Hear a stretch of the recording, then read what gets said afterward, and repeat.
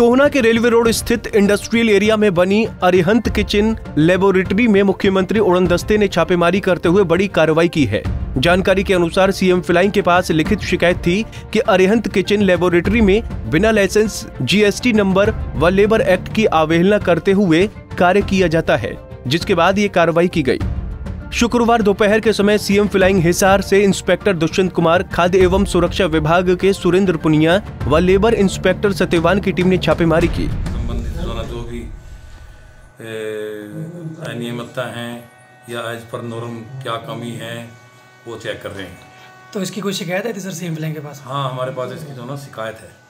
जी तो आज यहाँ पे क्या क्या कार्रवाई की जाएगी सर फिर? बस ये आज कार्रवाई यही है ये उन्होंने अपने food safety Shri doctor Surendra Poonia और लेबर इंस्पेक्टर श्री सत्यवान जी फतियाबाद से हैं।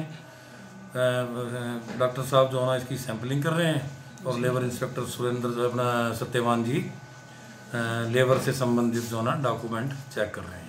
तो शिकायत में क्या कहा गया था सर जब शिकायत? शिकायत में ये जो मैं शुरू में बताया था जो ना महीने के लिए मसाले बनाता है लेबर एज पर नोरम नहीं रखी हुई है। जी। उसकी सैंपलिंग भिजवाएँगे? सैंपलिंग में क्या रिपोर्ट आती है? उसके आधार पर जो ना काम कार्य होगा तो लेबर एक्ट के तहत भी कोई कार्रवाई होगी सर जैसे महिलाएँ काम कर रही है? वो तो लेबर जो ना इंस्पेक्टर अपनी रिपोर्ट देंगे उसके अनुसार ही कार्रवाई होगी।